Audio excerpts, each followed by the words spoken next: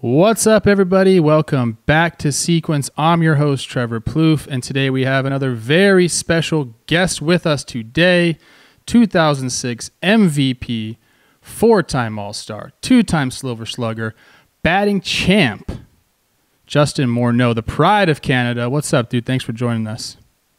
Thanks for having me. I'm looking forward to doing this. Yeah, we, I mean, look, we go way back. You were one of my mentors, a guy that helped me immensely in my career. So I thank you for that. But we've had a ton of ball talk. So I'm I'm excited to kind of like get into this and show the people like just how in depth my man can get into hitting because you definitely can.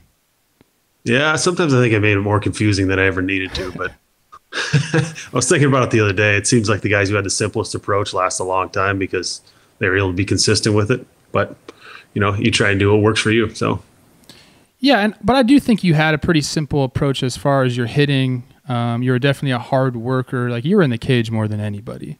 And whenever anybody asks me, like, you know, how was it to play with Justin and Joe, and it's like you kind of approach the game mentally the same way, or maybe, maybe not. Joe's a different cat, but you were in the cage a lot. Joe was not in the cage a lot. I tended to lean on your side. I needed to work. I felt like if I didn't do it, that I was not going to perform well. Who, like, where did you get that from? Was that something that you've always had, or did someone uh, mentor you and kind of teach you how to prepare? Well, my dad threw me, I don't know, probably a million balls, but we used to hit a ton in the summertime. I mean, I remember that was what we did every day. We, my mom went back and she was finishing her degree. She was a teacher. So she went back and during the summers to finish her degree. And so we'd spend the summers with my dad and didn't have a whole lot of money. So what's the thing you can do that doesn't cost anything? Go to the park and hit. And, and so we go to the you know Little League Diamond, go over there, set up the pitching machine, and we would just hit for for hours. I mean, it, it was just it was it was I don't know. There was nothing else I wanted to do. I mean, I remember we got a we got a little pitching machine. It was called a little buddy. It was you lined it up with wiffle balls. My brother and I got it. I think I was three and he was probably five at the time. And we used to load that thing up with wiffle balls and we used to hit off that thing. And that's the first thing I remember. But I don't know. I just remember I always loved hitting and I always loved playing hockey. And it was one of those things where I remember we got the first Nintendo when it came out and I probably played it for 15 minutes and then decided that I just wanted to go back outside. So I was I was just one of those kids that, that would way rather be outside. We always we had a you know we were in a neighborhood. We had a group of friends that loved to play basketball and, and street hockey, and it was harder to find kids that play baseball and play wiffle ball. But we had enough. We usually played two on two in my backyard, and, and uh, you know we had these these huge trees, these evergreens in left field that we called the Green Monster, and then the porch for the house was in right. Center field was deep. It was. Uh, it was one of those things, you know, you do that growing up and then you step on Fenway Park and you're like, wow, I saw this on TV and I played here in my backyard in my imagination. But uh, to get out here and actually play was was something really special. I remember my first time there, and it, it's a it's a special place to me. I always love to hit there, and I always feel like I hit well in Fenway because I pretended Fenway was my backyard for so many years. And not that I was a Red Sox fan or anything like that, but it's just such an iconic place that that I did that. So, you know, my parents, my parents were always there. I never had the type of parents that were overbearing, or I never felt like they were counting on me to make it so their life would be good. It was just, you know, I signed up for sports and they'd take me, or friends' parents would take me, and my parents, for sure, my mom never watched me practice baseball or hockey, one hundred percent.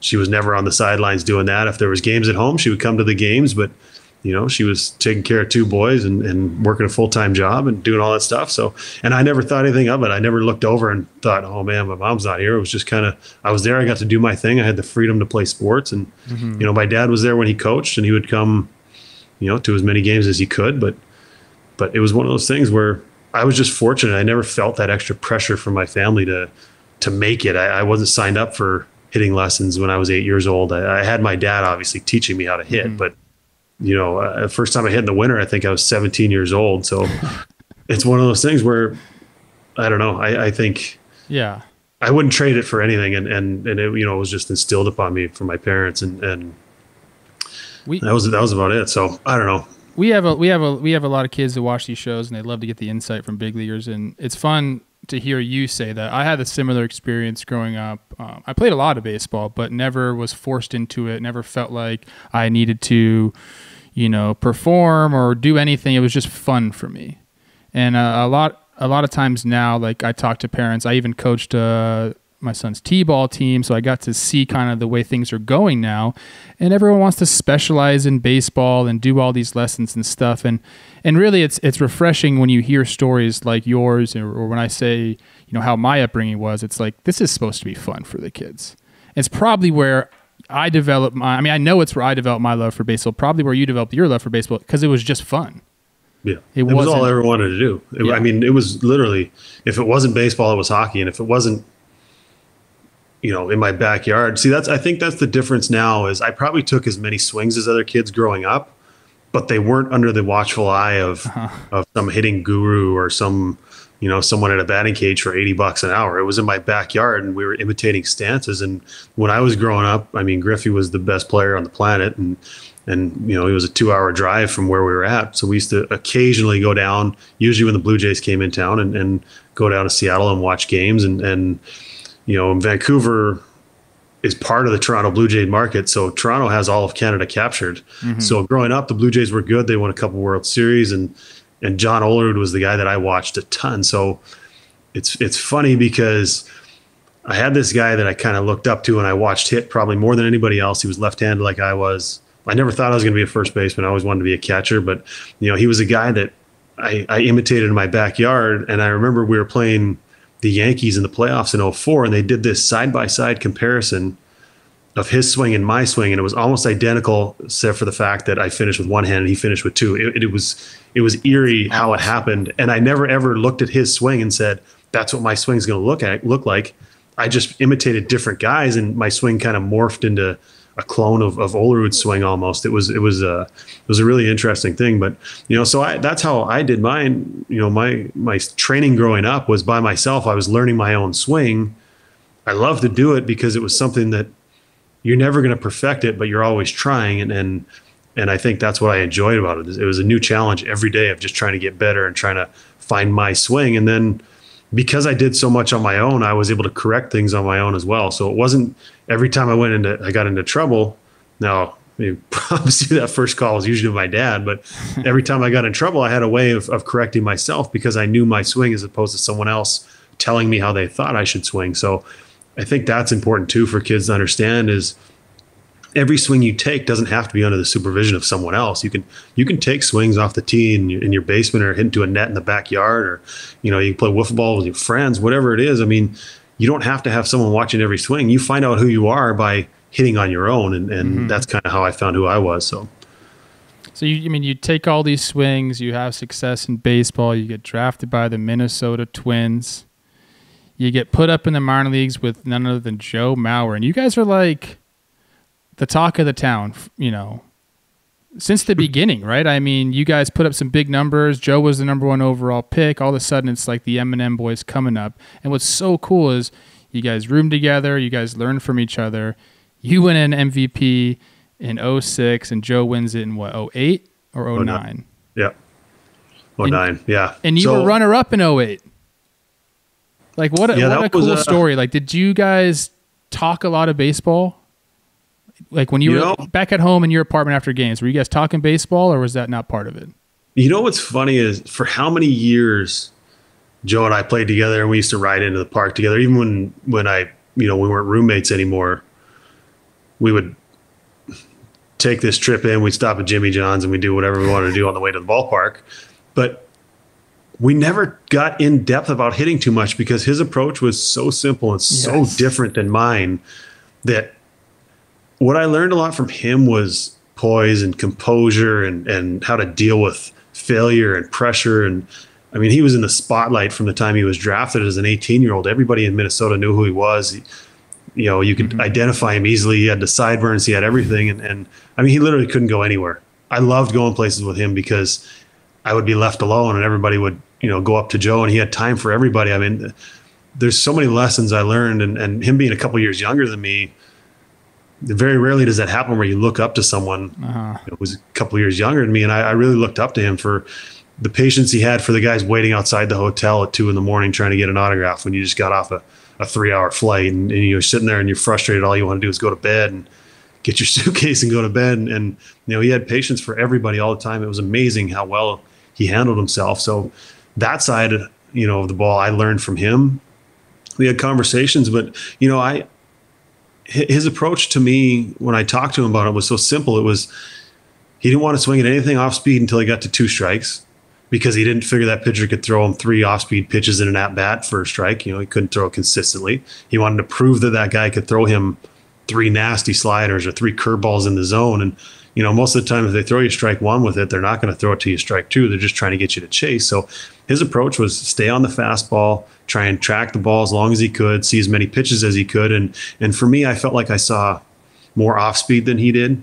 So there was times where I had to sit off speed. I had to, you know, make adjustments through an at bat, and, and his knowledge of the strike zone was better than mine. So it was it was one of those things where he never got himself out on borderline pitches, and me uh, going up there trying to you know pull homers and drive the ball in the seats and do that stuff. I would I would chase and I would chase a lot, and and, and it was it was one of those things where I'd sit there and go, man, I wish I had that type of patience at the plate, but we were just two different hitters, and and uh, you know, I, I don't know if he really learned anything from me, but I know I learned from watching him and, and his at bats and him hitting yeah. in front of me for so many years. I was going to talk about you, you and Mauer being a little bit of yin and the yang. Um, cause, because he had to learn some aggressiveness from you. I mean, he, that's kind of in his nature to be calm, cool, collected, like you said. You know, he's he's okay with taking uh, a, a first pitch strike, getting deep into the into the counts, but you know, at some point, a guy like Joe had to make an adjustment, and times he had to be aggressive. And I'm sure that he learned that from you because that's kind of not that they were overly aggressive, but you were much more aggressive than than Joe was at the plate. See, I don't know I, whether he did or not. I'm not sure. It's it's one of those things where there was times I remember specifically where we were at the at the dome and I was hitting behind him and he's leading off the inning. He goes, he throws me a first pitch right here. I'm I'm, I'm going to take him deep and then he went up first pitch, pulled a homer. I'm going. That was one of the most like guys do it all the time. Like, oh, he hangs me one, yeah. I'm going to get him. He never said that type of thing, and then he said it. and It was like instant homer, and I was like, why, why, why don't you do that more often? But I mean, he he understood who he was as a hitter. He was over a 300 career hitter. You know, 400 on base percentage. He had great at bats, and he was consistent in his at bats, and you know, for, for him, it was, it was, he had success doing things a certain way. And, and until it was going to be proven that that didn't work. Yes. He didn't feel the need to really change anything. So I'm sure he watched me, but I think the other thing he probably saw too is some of my at bats where I'd make weak outs, you know, on a first pitch change up roll over to second base. Cause I'm, I want to hit that fastball so bad. And then I get fooled. So I think, you know, you see that as well, and you go, okay, that's a bad at bat. That doesn't help our team. He didn't learn anything from that. So there were certain things that where we kind of fed off each other in that way where it was you know i learned patience from him maybe he saw me being aggressive and he saw certain things he could pick up but you know our routines were so different everything was i mean he had to prepare for most of the time when i was there was to prepare as a catcher and, and mm-hmm. you know he had to do everything he hurt his knee early in his career so he did he started doing you know he did daily exercises to keep his knee strong and to keep everything around you know, where he had that that injury to his knee, he had to keep all that stuff strong. So that was part of his routine. And my routine while he was doing that was taking a thousand swings. Yes. So it was it was just a different it was a different approach to the game. And he had to get a pitching staff ready and he had to get game plan with his starter and you know, he had to go through that other team's lineup and while he was doing that, I was probably still hitting. So it was one of those things where you were a ball of sweat in the cage or watching your Homer vids. yeah, I mean, uh, but that's what I felt like I had to do. For me, a lot of my confidence came from my preparation. Mm-hmm. You know, if I felt like I was strong, I put in the work. I, I, spent my time in the off season in the weight room and and you know worked on my swing and, and worked on whatever weaknesses I wanted to work on. That's when I felt prepared. And I think, you know, the mistake of of tying in confidence with success can be very dangerous, especially in baseball where you're going to fail most of the time so if you're out there going, okay, I was one for three today and I'm the greatest hitter on earth, and, and now I'm over four and I struck out three times and I'm the worst hitter on earth, and, and you're tying your confidence into your results, that's when you get yourself in trouble. But if you, it took me, it took me 10 years in the big leagues to finally get to this point. But I finally would line out somewhere, you know, line out to second, hit a ball on the screws, do everything right, and not get the result I wanted. I was finally able to look at it and go, okay, it just didn't work out. I prepared, I got a pitch I was looking for. I didn't miss that pitch, as opposed to earlier in my career, I would I would line out to second and go, if I would have just hit that ball higher, I would have got a hit. Or if I didn't hit it right at the second baseman, and, and it's impossible to go up there. I mean, unless you're Ichiro or, you know, some guys that that could really manipulate the ball. For me to go up there and try and change the swing, even though everything was right, everything was perfect. Uh, you know, ball we didn't have the exit velocity and all that stuff to back up it. But I mean, you hit a ball 105 off the bat, and you know, second baseman snags it. You don't come back feeling bad about yourself. Yes, you would like to get a hit, but if you're able to get over it and say, "Man, everything I did there was right. I just didn't get the result I wanted," it's a lot easier to deal with the failure and to move on as opposed to you know tying everything into having success and, and doing you know the results based way that's how you get yourself in trouble and it took me a long time to figure that out i wish i knew that earlier in my career i would have saved myself from turning 0 for 12s into 0 for 18s or 0 for 20s you know it, it's, it's, funny. It's tough though because you need results. Like you have to yes. have results to stay in the game and have a long career. But what you're saying is absolutely true. It's like trust the process. The results aren't going to be there every year, every at bat. Like you might line out to the second baseman 10 times, and in another year, those might just sneak past him for hits. So yeah, it does take a long time to get that. I totally agree with you. And it's hard. And if, see, and that's what I feel like we're talking about, you know, Joe and I being different hitters. I feel like he had that from the first day he was in the big leagues. He trusted his process, he knew his swing, and he understood that if he was consistent with that process, that his results were going to be consistent. And, and, and he never really wavered from that. And, and you know, for for me, I, I went through different different ways of doing that, but when I finally got to that point, uh, it's just so much easier to sleep at night. It's so much easier to, at the end of the day, look yourself in the mirror and say, "Yes, I worked hard enough today. Yes, I did everything I, I in my power to try and help us win a ball game." And no, it didn't work out, but you know what? I'm going to get another shot tomorrow, and I'm, I'm going to come back and work just as hard and, and hopefully get the results that I'm looking for. So that's why baseball is the toughest game mentally, in my opinion. Yeah, you know what's cool now, and we didn't necessarily have this when you and I played together. Was a lot of the expected stats. You know, like like you're saying, if you hit a ball in the screws and it's an out, like you can go back and say, okay, well that was you know uh, expected 700 batting average, you know, ball, and you can see in your peripherals like I'm the results, the batting average might not be there, but I'm doing the I'm doing it the right way. Like I will get those hits eventually. You know, and that's something that a lot of guys now can rely on. Like, yeah, okay, this is where I need to be, even though I'm not. I was 0 for 4, but I probably should have been 2 for 4. That's a little bit easier to swallow than just saying, dang, I was 0 for 4. Like I, like you said, I wish I would have hit that ball just a little bit higher. Yeah, is like the moral victories or the, you know, you, you, go through these times and it's like you get off to a slow start or whatever it is and you you start digging yourself a hole and then you start trying to change things. If you have someone bring it to your attention hey you know you've barreled more more balls than you did last year. You just aren't hitting them in the right spot. It's it's a lot easier to go oh you know last year in the month of april i was you know i hit 380 and slugged you know 600 or whatever it is. You know i was on fire and and then you look at oh this april i'm hitting 200 and i'm you know slugging you know 380 and going what's wrong? And then all of a sudden somebody brings you a sheet that says you've actually hit the ball more consistently this year than you did last year. You're just not getting the results you want. I think to me if i had that early in my career i would look at it and go all right i don't need to change mm-hmm. anything. I just need to take a deep breath continue trusting the process continue trusting the work that i'm putting in. If i'm not getting myself out and i'm and i'm making adjustments and i'm doing everything i can do i mean to me that that is is huge. Uh, I'll talk to our guys in the, in the front office about that and say, you know, what's what's different here? Is anything different? Is he pulling the ball more? Is he, you know, whatever it is? And, and they'll go, no, I mean, he's just not having any luck. And, and yeah. you know, the way we said it is, oh, he's hitting into bad some some bad luck. Well, now we have evidence that a guy's hitting into bad mm-hmm. luck. It, it's like, okay, well, now now I can sleep. Now I can live with it. Now I don't have to make a drastic change to my approach or my swing. I just need to start having some luck. And and there's a lot of that involved. There there's two pieces of advice that I got in my career that I'll never forget. One kind of ties into what we were just talking about. Prince Fielder, I got on first base. Um, he's in Detroit, And he's like, "Hey, Trev, what's up? How you doing?" It was early in the season. It's like, man, like I'm going, man. I'm trying to get going. Like, you know, my numbers aren't where I want them to be. But uh, he turned around and goes, "Dude, it's the end of April." He goes, "Don't worry about your numbers until the end of the season. Like, you are who you are. The numbers will be there. Just trust that." And I thought that was really cool to hear him say that. Like, it's to me, like it rang true because you are who you are. Like, yeah, you're gonna have to make little adjustments here and there, but if you're going just results based, like we were talking about, and you have some bad luck and you start to change your swing, then things can snowball. And it's like the best hitters make small adjustments, not the biggest ones, and they can kind of weather the storm doing that. And if you think and have that mindset, like, all right, just keep going, trust the process. I think that for me, like, led to a lot of success. And I think that's kind of what we were just touching on right there.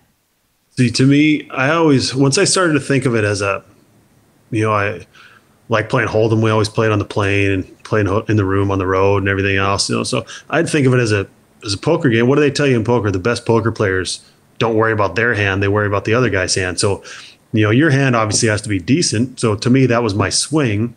All right, what's the other hand? Well, that's that pitcher and that catcher. What are they doing at trying to get me out? So if you could figure out what your opponent has or what your opponent's trying to do to you, what you have doesn't really necessarily matter if you're able to figure out what they have. So, you know, to me, it, was a way of of looking at it in a different sense of. I, once I get my swing to where I want it to be, I don't need to change my hand position or, you know, my hip, whatever, when my mm-hmm. foot's getting down, all that stuff. Once that stuff's locked in, it's just it just becomes a, a poker game between you and that pitcher and the catcher. And, and I don't know, that to me is where it's fun. And when you get to that point, that's when you know the game really, really becomes something different, and, and it starts to go to another level. And, and you know, I got to that point in my career, and, and man, it was fun to be able to to be able to sit there and and and play that game of, all right, last time he got me out on the changeup, whatever it is, you know, this time he's not going to beat me the same way twice. I'm not going to get myself out on that or whatever it is. And, and you know, I, I, had a lot of fun doing that once I got past the constant mechanical changes in my swing and was able to just settle on something and not make it results based and, and make it process based. And, and, you know, things took off. It's a little bit of foreshadowing for this at bat. I have the second best piece of advice I ever got. It came from you, but I'm going to save that for our second at bat. And I remember that day. It was in Yankee Stadium. I'll see if you remember it too. But. Well, we walked in left field, but we'll take a look at this first. yeah. So yeah, you said like you got to a point where it was more of just wondering or talking and thinking about what the pitchers got for you. In this particular bat, we're in Detroit. Um, I don't think I was up for this. I think I was still in the bushes, up and down. But I do remember the game. Max Scherzer on the hill. Second at bat, I believe, was when you took him up top, 3 1 change up. We'll have Kyle clip that in right here. It was a bomb. So now you have that in your mind. Sitting here in the top of the seventh, he's still in the game in a jam here. Don't really know why he was pitching to you, to be honest with you, but you know I'm glad he did. And uh, let's kind of uh, let's take a run through this a bit. We'll start it up right now. All right. All right. Baby more or not a Baby more. This is a thick more Morneau, a little bit older. Max so Baby Scherzer. Took him deep on a three-one changeup. So I'm I'm sold out to the fastball right there. I'm I'm 100%. He's not throwing me another changeup, especially first pitch right here. And then I missed it. You can see the reaction, yeah. and you know some of that was for myself and just a natural reaction, and then some of it was for the pitcher and the catcher to see like, hey, ooh, I try and play that mental game of hey, you got away with one I don't like do that, that, again. You know, I was kind of now he's out there thinking he beat me with that pitch. So what does he do? Okay. He comes back to it. And we saw Victor Martinez behind the plate. He, he was in Cleveland for so many years. So kind of learned what he was doing, but he made a mistake there. That was actually a better one to hit. Yeah. He, so, so he tried to come up and in, like you said, you kind of okey doked him right there. You're like, oh man, he beat me.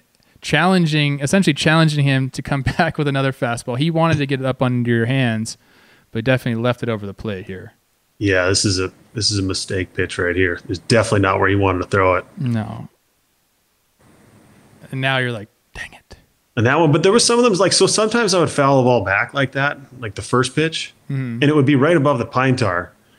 But I would try and act like I just missed it, you know, like like he got away with one, and I'd try and play some mental game when I was sitting there of, you know, how this guy, he got away with a pitch right there. And, and maybe I didn't want him to throw it again because it was off the pine tar. So then I would, you know, try and get him to get back over the plate because I was a guy who liked to get his arms extended and, and you know, tall, you know, six four. So the hardest pitch for a tall guy to hit is up under their hand. So that's the last thing I want to see is him keep doing that. So we go through next pitch. All right. Yeah. Non-competitive. I'll call it. You got. I'll call it non-competitive. Okay. So we get to here and you know, I hit his changeup out earlier in the game, so he's throwing this as more of a, a split type change where he's going to try and strike me out and, and, make sure he doesn't miss over the plate and in the mm-hmm. zone. But for me, in this part of his career, I felt like I saw his changeup really well. I can see that because when I'm watching these at bats, it kind of comes out so differently. He, well, to me, he tried to get so much fade on it that so when I when I was looking at a pitcher, you know, I think it was Tony Gwynn said he'd look at the label on the hat and then transfer to the release point. So me, I was trying to see the ball as deep in that release point as I could and try and see hand movement. So for me, he turned his hand over mm. a hmm. ton to try and get that ball to fade down and away to a left-handed hitter. And I saw that early because to me, his his arm action and his arm speed on his fastball was different than his changeup. So so his that ball would, would kind of pop out a certain way and I would see it and it would just sort of fade on me and I would see it early. So it was one of those things where I, I felt like the only pitch that I was really uncomfortable with was that fastball up under my hands, and I needed to be ready to hit that. I felt like if I saw his changeup, I would have enough time to hold on and use my lower half and to keep my hands back to be able to take advantage of that changeup. So I had confidence against the guy, one of the better pitchers in the American League at the time. I had confidence against him, and and it was just because I felt like I saw the ball well. And I think the other thing I'll say about that, when you face aces, when you face number one, they're guys who have confidence they challenge you. Mm-hmm. You know, they're not out there, you know, nibbling around the edges of the zone. They're not out there. They feel like they're better than you. They feel like they've got something that can get you out. They feel like they can beat you. So then they they come right at you. That's why I love facing Scherzer. I love facing Verlander. You know, Roy Halladay. I, I, you, you know, there's yeah. certain guys that you knew it was going to be a tough day, and you had a good chance of, of getting an 0 for 4, but but you knew they were going to come at you. It wasn't they're going to try and trick you and fool you and get into a 2-0 count and and and throw something that you're not expecting. You know, so they kind of went through this whole this whole mental game of, of I enjoyed that part of it facing these guys. It was it was always a challenge facing the best, and he was one of the best. But I felt like I saw the ball well off him. I totally so get what you're saying about his fastball. I mean, if you look here, like you know, fastball grip, and then if he's ro- if he's turning the changeup over, I'm trying to get in the screen. You know, you're going to see more of that palm, just a bigger area to focus on. Yeah. So, so it was it was a different look from his hand. So I was able to, I felt like I was able to recognize it. All right. So that was a waste pitch. Um, one, two now. You're locked in. It's probably the only game I was locked in that whole year. But so this one, little misfire. It's like you can see his arm speed's a little. He's got more confidence in his fastball. He's he's got more conviction in his fastball. He was so trying to blow that by you. And, yeah, it, it's like he he he he's going to beat you with his best pitch, and he understands his best pitch at that time was was his fastball. We were watching this earlier. I said, "Oh, there goes an RBI right there." Every hitter that's up there, there's a pass ball. You're like, "Oh, like I'm happy we scored a, little, a run," but a little different with two outs, though. Yeah, you know, with one out, that's that easy sac fly. You're out there going, "All right, this, this guy's with two outs, a little different story." But so non-competitive changeup 0-2, fastball way off the plate, you know, one, two. Then he comes back. What are you? Yeah, what are you to, thinking? What are you thinking here? Because you can go. For me, I'm just trying to think. Stay on the ball. I so with two strikes, a lot of times I would choke up. So I was a guy who was off the bottom of the barrel, and then I would move the barrel, you know, the knob of the bat below my hand. Most mm-hmm. of the time, it was in my grip. Two strikes, I would move it down, and I would try and stay on the bigger part of the field to give myself a chance to hit more pitches. At that point, I made myself a little more vulnerable to a fastball up and in but I felt like I could cover fastball away. I could cover slider, curveball, changeup, whatever it was. If, if I, you know, focused on the big part of the field when I got to two strikes. So for me, okay.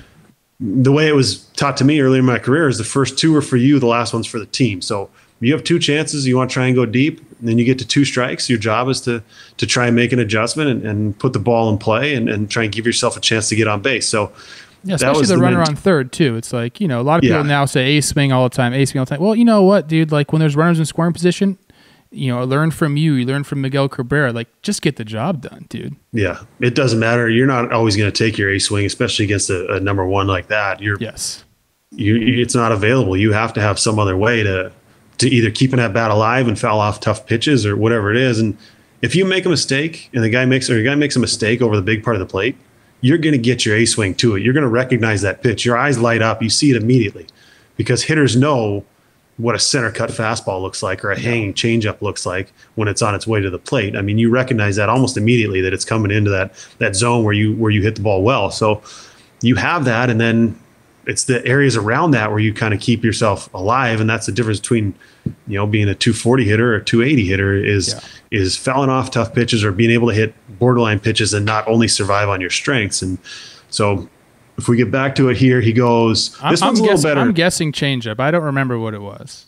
Well, see, I know I try not to guess with two strikes either. I try to give myself a chance.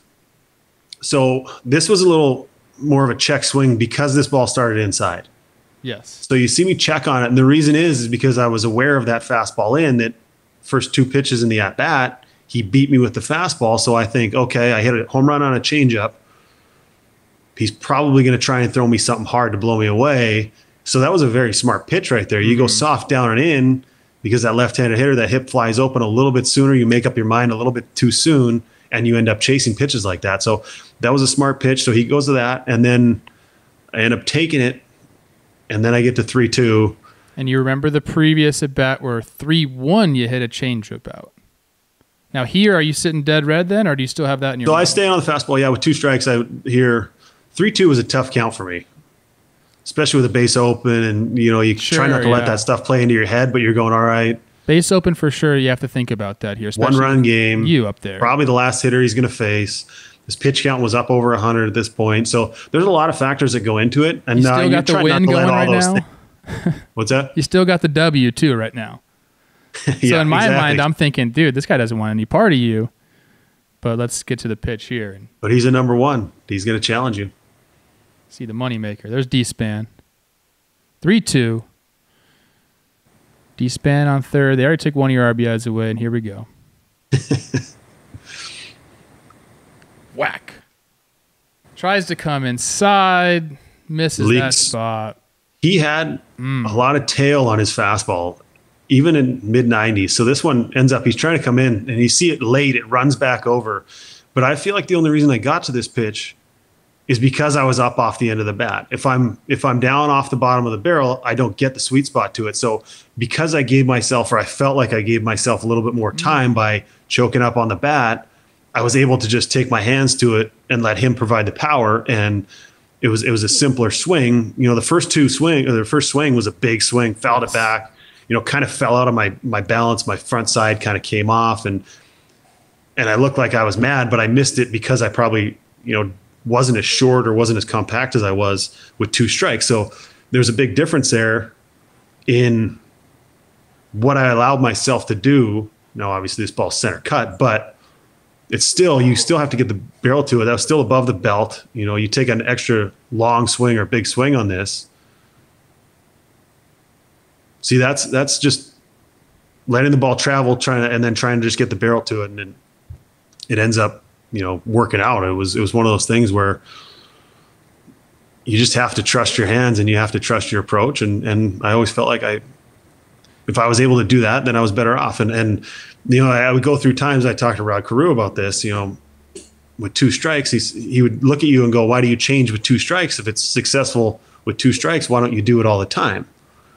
So it was one of those things that I kind of battled with because it, yeah. you know you have a Hall of Famer, one of the greatest hitters of all time, say something like that to you, you kind of question and go, that does kind of make sense. So then I went and looked at it. I think I hit almost as many home runs with two strikes as I did with less than two strikes. So it did make sense. And, it, and I did actually in 2008, for almost the entire year, I, I hit that way up off the barrel because I felt like the previous two years I had a lot of success off left handed pitchers by thinking opposite gap to their fastball and giving myself a chance to stay on the breaking ball. I felt like in 08, they started throwing me in a lot more. And I didn't want to have to cheat to it. So I took that two strike approach and, and switched for a year. And, and, and then I went back the next year for some reason. But it was one of those things where I felt like I had to make some type of adjustment because they were adjusting to me. So yeah. I don't know. It's an, it's an interesting thing that, and you said at the beginning, there's a lot going on up here during my at bats and and thinking about my swing and everything. But that's how I kind of looked at it is is you know if you're able to adjust, you can stick around a little bit longer. If you if you have one swing in the same spot and you keep getting out the same way, you're not going to last very long. And and I think you know that was that was something that I tried to do was adjust as it went along and making an adjustment with two strikes allowed me to have success off a guy like like Scherzer. I love it. I mean, we talk about that all the time. Like you have to be able to make adjustments. You can't just have one swing, and you're like a living embodiment of that. If an MVP says I got to make an adjustment because the league's making an adjustment on me, guess what, kids? Like that's what you got to do. I think the other funny thing about this, sorry. Okay, go ahead. I was going to say the other funny thing about this is, you know, Jim Leyland, one of the best managers of all time, saw him at the batting cage the next day. You know, we're taking BP. He comes out and full spikes, everything like he did. And he comes out and he says, Man, I, I kind of had like that little, try not to look arrogant, but I kind of had that little smirk on my face, like I got you last night. He comes out dead, straight face, no emotion whatsoever. I shouldn't have let him face you last night.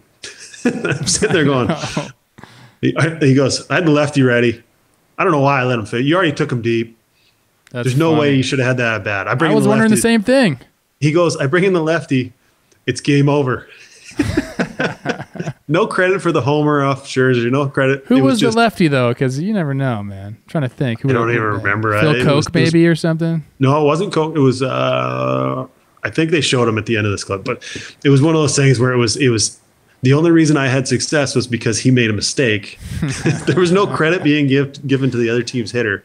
I just thought it was one of those things. I was like, that's oh, funny. Skip, you're man. the best. Yeah, it was it was good. I I never I didn't take it as insulting. I took it as him just having so much pride in, in his thought process as a manager. But he stuck with his ace. Yeah, and it ended, it ended up costing him. I mean, he'd throw the ball well. He was one of the best pitchers in baseball, and he stuck with him. It didn't work out, but you know, it was just funny to hear his thought process after that. I love Jim, man.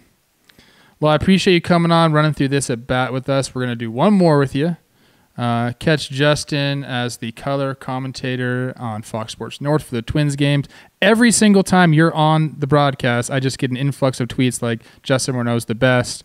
We need more. We need more. We need more. So you're doing a great job, uh, which is not surprising to me because you know the game so well. So appreciate you coming on, sharing your insights, and we'll be back with at bat number two with my man Justin Morneau. Hey guys, it's Trevor Plouffe coming to you live from vacation to tell you there are 100 million reasons why you should listen up. DraftKings, the leader in one day fantasy sports, is celebrating the return of sports by giving away up to $100 million in prizes to all of their customers, including one lucky winner who will take home a $1 million cash prize. To claim your share of up to 100 million in instant giveaways, all you have to do is download the app and sign up using promo code JOMBOY, and then enter DraftKings free football survivor pool. Yes, it really is that easy to claim your share of up to 100 million in instant giveaways and put yourself in the running to win a $1 million cash prize.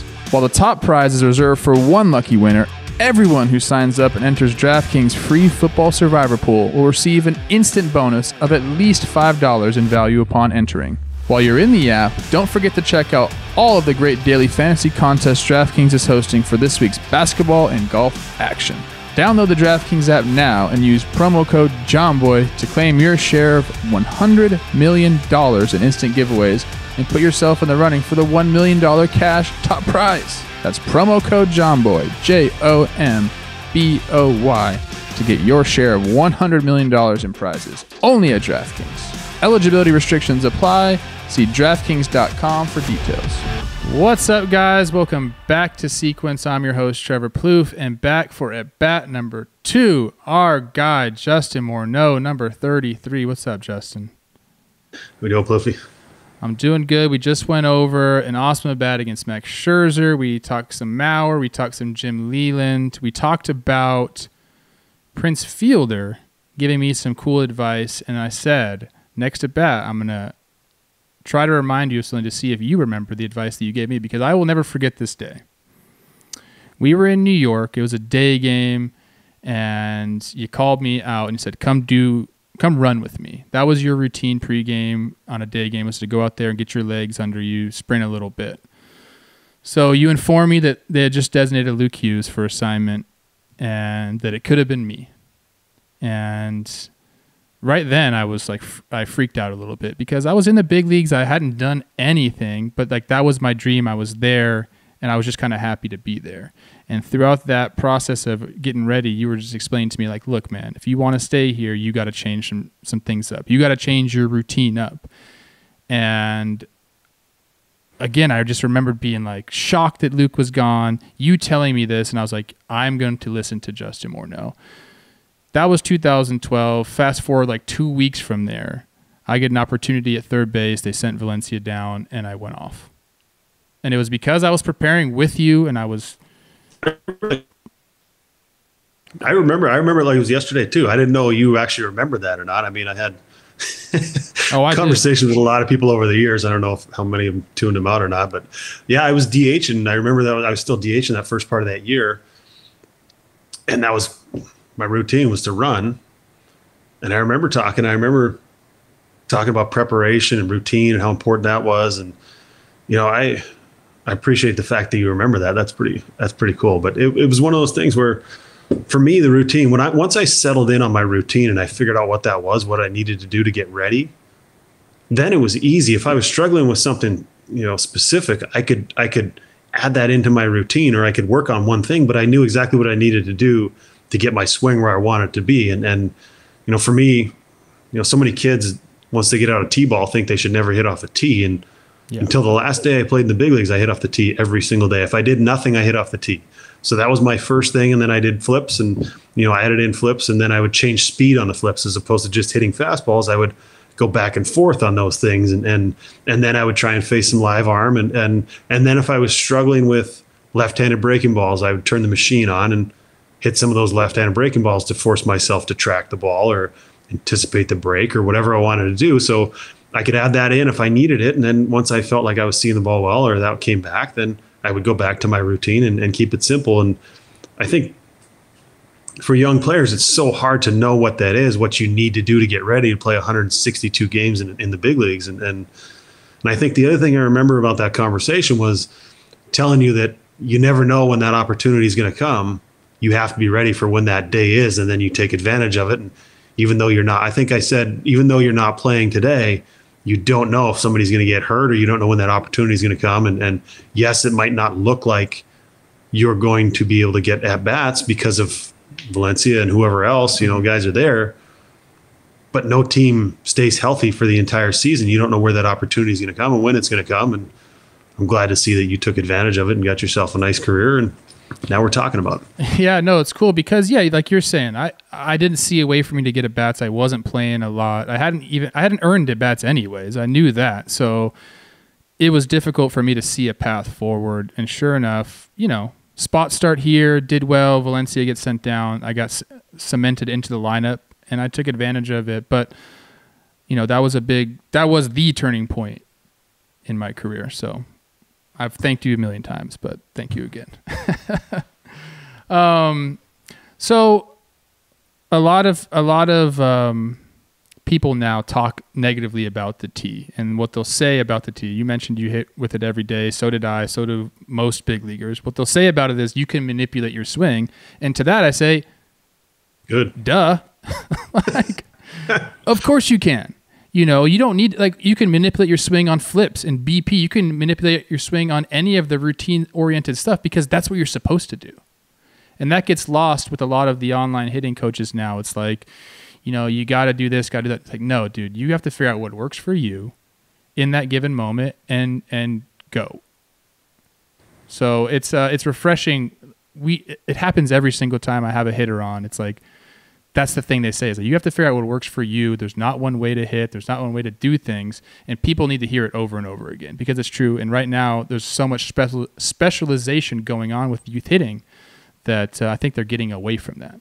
Well, you watch a big league game, you find me two hitters that hit the exact same, even where they start with their hands or their lower half or their width of their you know, mm. before they stride, where the guy hits with a leg kick. There's guys that look similar, and when you get to contact, it all gets to pretty much the same point. Yeah. But how you get there is is is different. Yes, there's ways to be more efficient, but not everyone's body works the same. Not everybody's strengths are the same. So, like I said at the beginning, you have to figure out who you are as a hitter and what your swing looks like and what it feels like and and what's comfortable. I, I think that's the the first thing my dad will do when he has a you know somebody learning how to hit is say, all right, put the bat on your shoulder. Now take it off your shoulder and put your hands where where it feels comfortable. And then that's how he starts their swing. He never says it has to start here or here, whatever it is. He starts with the simplest approach of if you're not comfortable, it's going to be really hard to hit. So you want to start in a position where you're comfortable and you go from there. And to me, the tee, the tee did so many things for me that that you just can't do with BP or flips. You can have the best BP thrower in the world. They're not going to be able to throw the ball exactly where you want them to every time. Mm-hmm. So for me, I wanted to be able to cover. You know, I'd start away, I'd hit the ball the other way, then I'd move, go middle, then I'd practice pull, and then I'd finish away because I knew the majority of the pitches I was going to see were going to be on the outer third of the plate, the outer two thirds. So I wanted to feel like I could cover everything out there. But the other benefit of the tee to me is if you're getting beat by fastballs up and in, and you go and you turn up that pitching machine, you crank it up, and you're getting pitches up and in, and you're having to find some way to get to the ball. Well, if you know exactly where the ball is going to be, you can figure out how to get your barrel to that ball if it's sitting on a tee. The tee eliminates all the variables and it leaves you only with your swing. Mm-hmm. Where the ball is going is is up to the person who's throwing it, whether it's flips or BP or off a machine. It's hard to get that ball consistently where you want it to be to work on something. So for me, I wanted to, I always wanted to work on my strengths.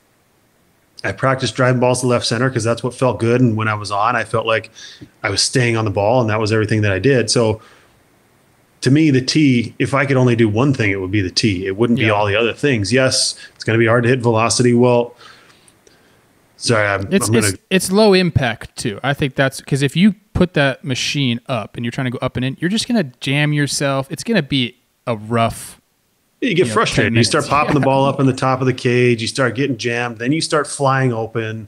So if you're off the tee, you can figure out the depth of contact where you need to hit that ball.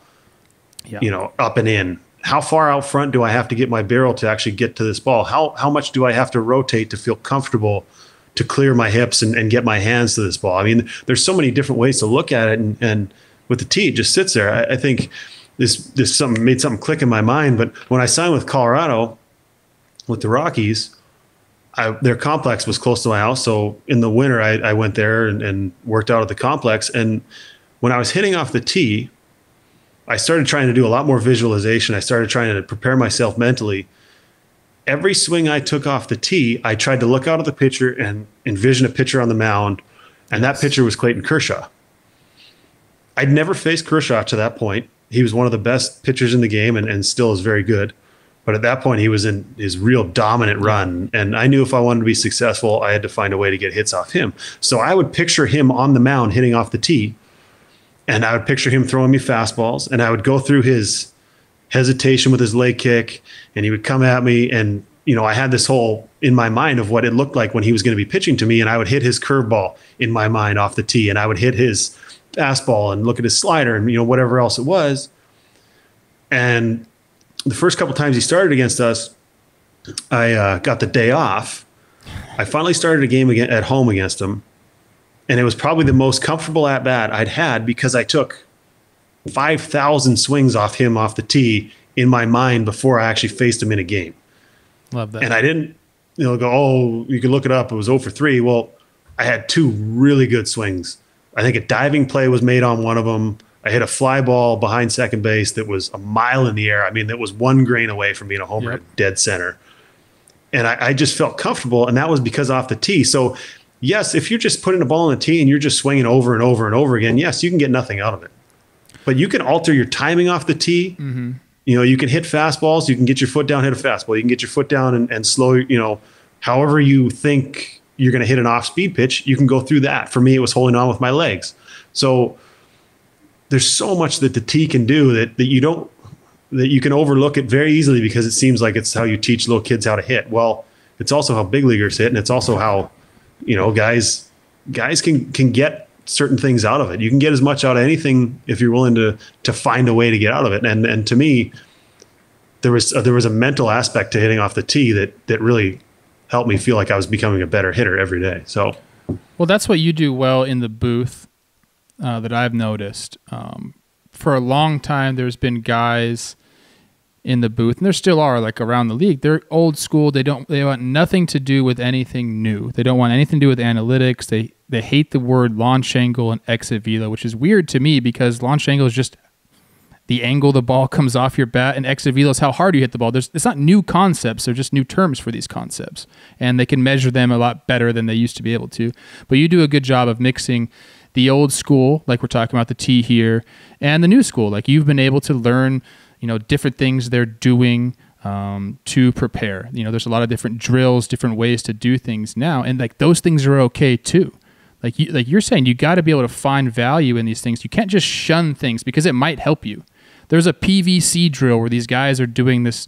They have a PVC pipe and they're kind of like you know getting their back elbow in. They're kind of rotating, and people dismiss that drill like, oh, that's so stupid. But like, why is it stupid? It's getting you a feel. Like if that's going to help you, do it. It's the same thing with the T. If that's going to help you, do it. And and and to and both sides are to blame here.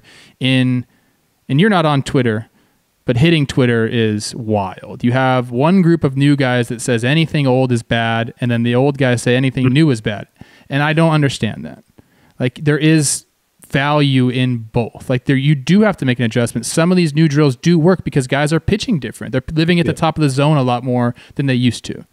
So that's one thing that if people tune tune into Fox Sports North, they're going to hear you kind of combined old school with new school, and it's so refreshing. It's See, so I, refreshing. I talked to my Michael Cuddyer and I talk about this.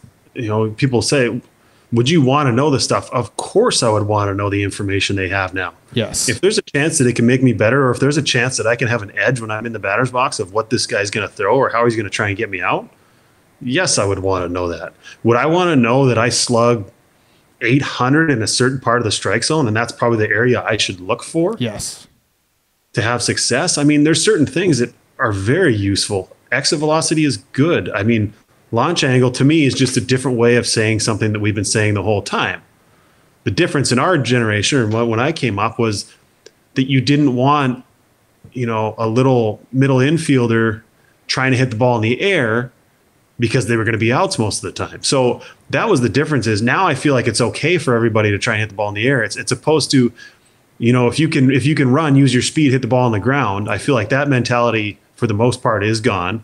But we were trying to hit the the pitch. So the way the best way it was put to me is you're trying to hit the L screen from the guy throwing BP. You're trying to hit the L screen. Yeah, I mean that's like the optimal launch angle basically that's what we were trying to do in BP anyway, was trying to hit backspin line drives. We just call it backspin line drive. Mm-hmm. And then it would carry in the backspin. So if it was a miss, it would be a homer. If it was a miss down, it could still be a hard hit line drive or ground ball. With topspin, it's almost the identical thing as, as talking about launch angle. You're just saying it in a different way. Yes. So I'm not opposed to those things, and and and I don't think I should be. I mean, we know things now about the swing and the way the body works and, and everything else, the way the ball comes off the bat that we didn't have information before. And there's old school baseball people that can see these things without knowing them. You know, you have scouts that have been scouting for 30 or 40 years, mm-hmm. don't need a radar gun. They can just look and go, yeah, that guy's throwing 95. Yeah, that guy's throwing 91. I mean, they're, they're so good. They've seen so many players that you can't discount that either. Now, obviously, you're going to have your radar gun on them. You're going to write your numbers down. You're going to do all that stuff. You're, you're going to get your spin rate info and you're going to do all the rest of that. But, but to me, you can't cast aside a whole generation of people just assuming because they don't talk about it the same way that you do. You might know the same thing, but you not may not be speaking the same language. I mean, one guy's speaking French and one guy's speaking Spanish, and and and neither one of them understand each other, but they're basically saying the same yes. thing. So to me, it's one of those things where I talk to my dad about this all the time. He still teaches hitting lessons. He's you know 72 years old, and he has young people all the time telling him he doesn't know what he's talking about. And I'm going, okay, have any of these guys coached a, a batting champion or yeah, you know, MVP or have what's their credibility compared to yours? You know, I, I, don't understand how people can just dismiss what he has to say just based on his age. I mean, age and knowledge are, or experience to me trumps all. You can have all the information you want, but until you've actually stood in there and tried to do it, that's the difference maker to me. And so yes, there's different ways of teaching things, but there's also there's a blend of the two, like you said, that are that are that are perfect, and and you can find a way because no two hitters think alike, no two hitters hit alike. So you have to find what works for each guy. And to me, teaching a, a cookie cutter approach or one way to swing isn't the best way to do things. You have to figure out who you have as an athlete and who that player is and, and what they're able to do and what they're capable of. So that's the simple way of looking at it, I think, in my opinion. We, we might go down a rabbit hole here, but the one thing that, that kills me is uh, spin rate. I I I think it's been the, the, the biggest advance in technology and, and, and its impact on baseball has to be the the slow mo Edgertronic cameras, because look, the term spin rate is just like I said, it's a word that describes what baseball players have been talking about forever. The guy's got life on his ball, late life, whatever. Like you knew what you knew when you saw it. If a guy had plus spin or plus efficient spin, you knew. But we didn't have a way to um, talk about it or even measure it. But now we do, and I think we're seeing. Well, guys, we, we measured it. We measured it with our eyes. You faced. Verlander when he came up. Oh my! He's throwing 98 at the top of the zone. That's life. He had he could blow you away. Yes, We saw it with our eyes, and we come back and go, "It's got life through Life. Through the zone or whatever it is." I mean, whatever term you want to use, it's the same thing. Go ahead. But the guys who are able to now use these cameras also use the sticky stuff that we know every single buddy's every pitcher's using, or they they should be using. You know, if they can continue to be more efficient with their spin and up their spin rates, I mean, that's why you're seeing all the strikeouts and you're seeing these balls move like crazy, because these guys are learning how to manipulate the ball on, with their fingertips, all because of these slow mo cameras. I've said it for a long time. Pitchers are benefiting from technology and these uh, the analytics way more than hitters are. It's been very, it's a slow climb to to try to get back on par with the pitchers. And right now you're seeing like Bauer, who's kind of been the guy who led the revolution almost. He's he's like top spin rate with all of his pitches, and he's absolutely dominating now. So it's um, it's a weird thing, man. But I think uh, you know we're seeing the adjustment now from hitters getting to that top of the zone. So now we're seeing the pitchers zag the other way, and guys are starting to throw their two seam. They're trying to X the corners again, like they used to, and it's just a chess match, man. And that's the beauty of baseball. It's funny because we, we were talking about that during a broadcast. You know, last time I was on, it's like, are we going to see this evolution go back the other way? Of now the guys are finding a way and they're getting away from that uppercut swing to be able to counteract that sinker. You know, trying to lift the ball at the bottom of the zone. Well, you can't attack a ball in the top part of the zone like that because you're going to swing under it. You're either going to pop it up or you're just going to completely swing and miss it. So guys are making that adjustment. They've found a swing that works to get to that ball up in the zone. And I was watching last night, and it's like it seems like every mistake that is between the letters and the belt, or maybe even mid thigh, ends up out of the ballpark. Mm-hmm. I mean, guys take advantage of those. It's like if you don't miss letters to above the zone, you're gonna it's gonna be a homer. And and guys have swings that are just tailored to hit that ball in the top of the zone now. And now I, I feel like, like you said, we might see sinker, cutter, you know, working the bottom part of the zone, a lot more ground balls, and and and then on top of that, you have the shifts. So you, you have yeah. guys. Your benefit is trying to get the guys to hit the ball on the ground with weak contact, where where your guys are playing, and and it's a lot harder to get a guy hit a ground ball on a, on a pitch at the letters than it is Mm-hmm. at a pitch at the knees. So it, it's been it's been interesting to watch. I mean, forever it was it was the split, then it went to the cutter, Oh, the cutter! you know, and now now it's the four seam curveball combination, top of the zone four seam curveball, and and and now is it going to go back to some other variation to try and make the hitters catch up? And it's a constant game, but it's fun to it's fun to watch for me to see the evolution, especially over the last twenty years, as I've been paying a lot more attention to it. Yeah, I mean, look, I could talk hitting baseball all day with you, um, but you know, people's attention spans here are, you know, they're small. No offense Those to the fans out there. Thank you guys for watching this video.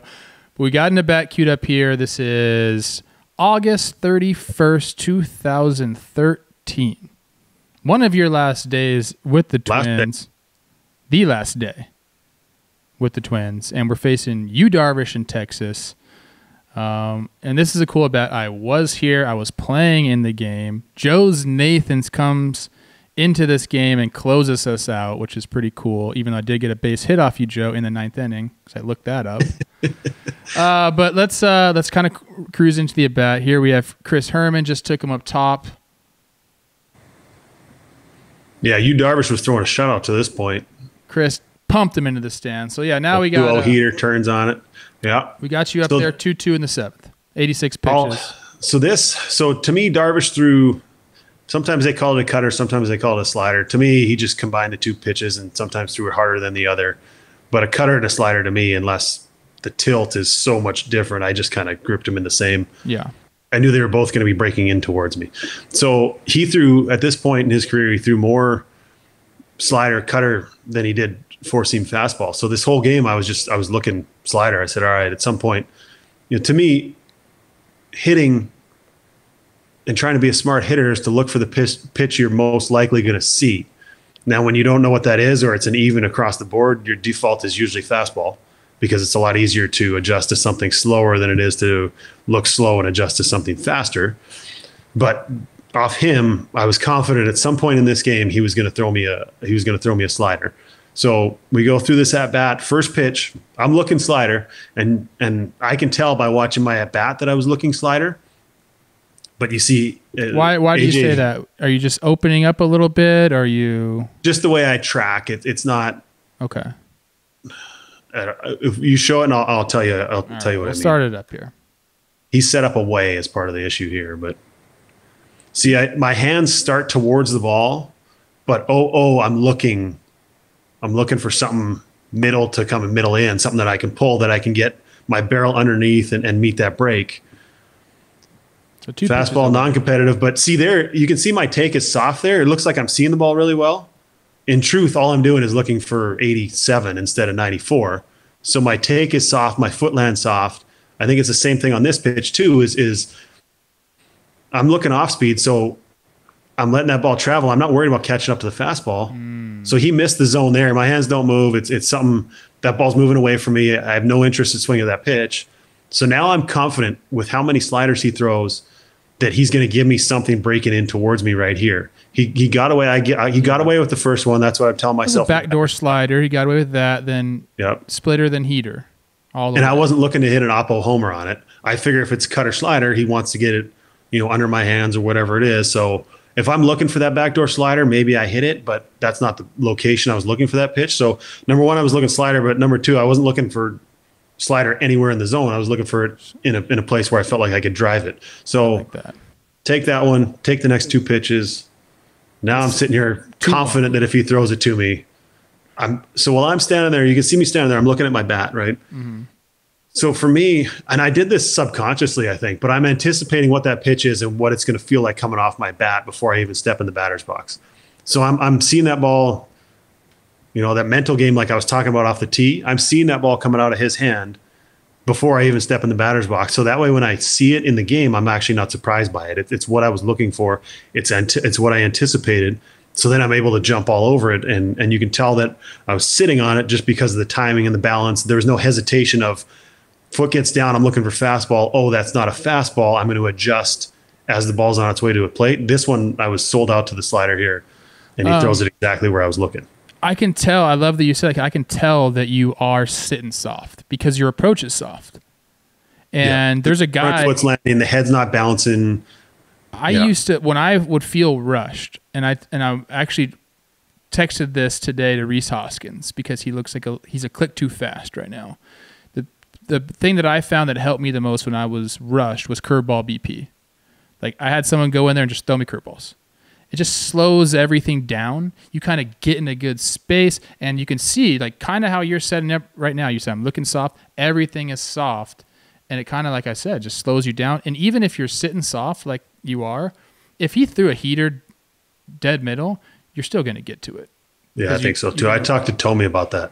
Yeah, He said the year he had 50, he he sat off speed the entire year. it helps a lot, man. It's a weird thing to like try to like wrap your head around, but it's just because your approach uh, mimics what you're thinking. So, Yeah, you slow down, then your eyes take over, and you recognize pitches. all right, so two one, sitting soft. Are you gonna get it? I think you are. And I love this swing right here.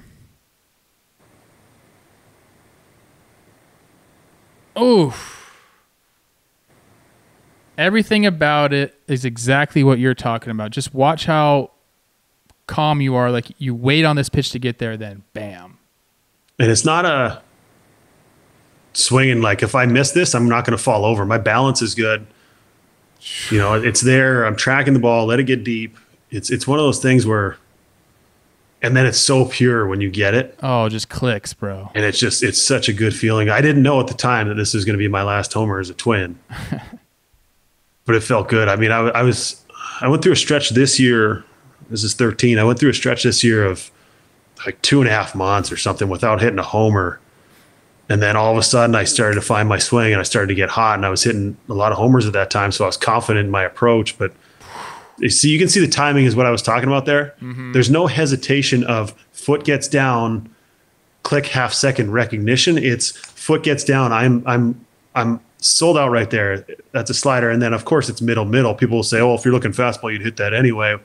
Not necessarily. Mm-hmm. I've broken my bat on that pitch plenty of times when I'm, I'm thinking fastball in, I'm thinking 94, 96 on the inner part of the plate, then that's a rollover. It's a broken bat, whatever it is. There, I give my I give myself a chance to hit the pitch he was most likely to throw, and that's the way I kind of looked at it a lot of times. So that was a good feeling there. That was it's, nice. It's uh, I don't know. I I mean, it's crazy the stuff that we can remember by watching stuff and and see even remember back to what what we were thinking mentally at that time because I mean, as much as the game's physical, it's it's mental and, and what you feel. And I think that the best thing I ever heard was from Larry Walker. He said the only stat I ever worried about was going one for one my next at bat. and if you if you're able to simplify it that much, to know that short memory, love that. If you're three for three or over three, that fourth at bat is the only one that matters. It doesn't matter what you've done in those previous three at bats. And when mm-hmm. you're going through a tough time, it is the absolute hardest thing to do, not to let it snowball on you and not to sit there and let it just pile up and pile up because post game, you're 0 for your last 18. How do you feel? You can't good. just sit there and go, I don't care about those 18 at bats. You, you, you kind of have to answer the question. You have to talk about what you're feeling. And I'm not seeing the ball well or whatever it is. Well, uh, you know, I've been watching. I feel like hitters have struggled in the early part of the of the season, the shortened season, very much camp so. and everything else, and and it, it's hard because I just want to reach out and say, you know, the only at bat that matters is the next one, not the last one. The only at bat that matters is the one that's coming up because whether you go one for one or 0 for one, it's not going to erase the 10 for 20 or the 0 for 20. That's done. That's in the past. And the yes. quicker you can move on from that, the quicker you can just focus on the next at bat, the next, the process, the next pitch. And it's easier said than done. It's probably the hardest thing I think to do in baseball is, is be able to go at bat to at bat and not let the last one affect the next one. So I think you should reach out, man. I'm telling you, your, your words carry weight. You've done it. And if I'm still playing and I'm slumping and I get a text from from Morney, it's gonna help me, man. But if you think about what's the what's the one thing that happens all the time when you're when you're struggling, when you're going through a slump? You get advice from seven different people. Yeah, but you're not seven different people, bro. No, but it doesn't matter. It's one of those things. It's like how many more voices do you need to be able to figure out that once you start seeing the ball again, then I think if you get into specifics, if you're like, "Hey, man, I see something you're doing, like maybe give this a try," or or an adv- advice like that, that's very general, like, "Hey, just like fuck whatever has happened the last two weeks, like doesn't matter." I mean, that's like kind of what Prince told me that I've remembered forever. Like, don't worry about that, dude. Like, you'll see what kind of player you are at the end of the year, and that gave me a lot of confidence. There's some guys, yeah, there's some guys that you could reach out to that would that would yeah, appreciate that. Unsolicited advice isn't always the best. Uh, I, I feel well. You. I feel you. But just if it's from someone you don't want advice from, yes. But I think Kais would like uh, to hear from you. So uh, I appreciate you coming on, man. That was like a masterclass in hitting. Um, is there anything that you want to plug? no, know. You're not a plugger. I just thought I'd throw that out there to you. No social media for this guy. No, that's a good thing, man. But again, catch Justin um, on Fox Sports North, uh, doing the Twins games along Dick Bremer. When are you back? When's the next one you're doing? September fourth or fifth. I have almost every game in September, so love we'll it. See, uh, we'll see once the kids go back to school and start working, and hopefully it's uh, all right, Pennant chase time, and we get some good games. So I think the Twins are going to be doing all right at that time. So we'll see them, and then they got to get off. Uh, they got to get rid of the Yankees. We all know that. And we'll end it there because people are going to be really mad that I said that. All right, Morny, thank you for coming on, dude. And again, always a pleasure catching up.